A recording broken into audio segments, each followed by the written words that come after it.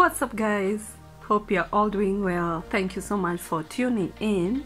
And uh, today I'm on this area of uh, James Gichuru Road. Uh, this is where the Nairobi Expressway is. And uh, before then, kindly, if you're not subscribed, hit that subscribe button and give this video a like. Also, leave a comment.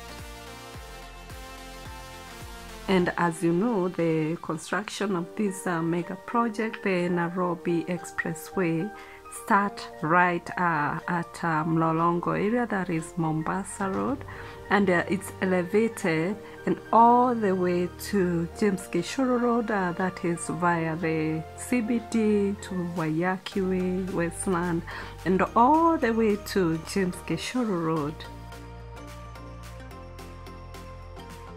The construction of this uh, double-decker road uh, is uh, aimed at easing the traffic. Uh, that is a major problem, but uh, those cars which will be using the upper area, that is uh, the expressway, will be forced to pay the toll.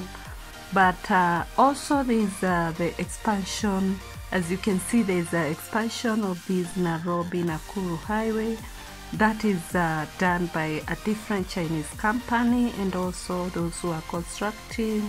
The expressway is another company still the Chinese company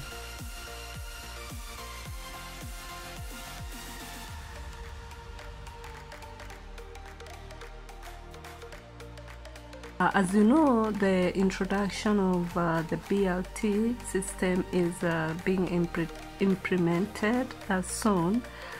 Uh, the BLT uh, are the main target to use the expressway, so uh, there's um, a lot of construction going on at this place, and you can see this is where the expressway is, and the construction is going on at a very high speed, and we're hoping uh, as the target the expectation is that this road will be complete by 2022 which is uh, as you can see is going at a very high speed.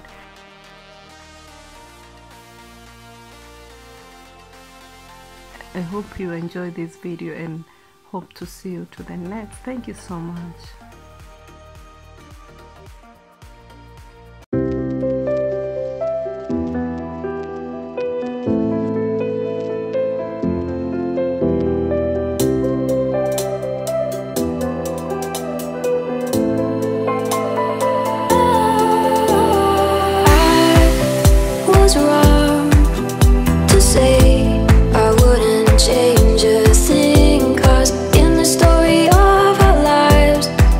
wrong to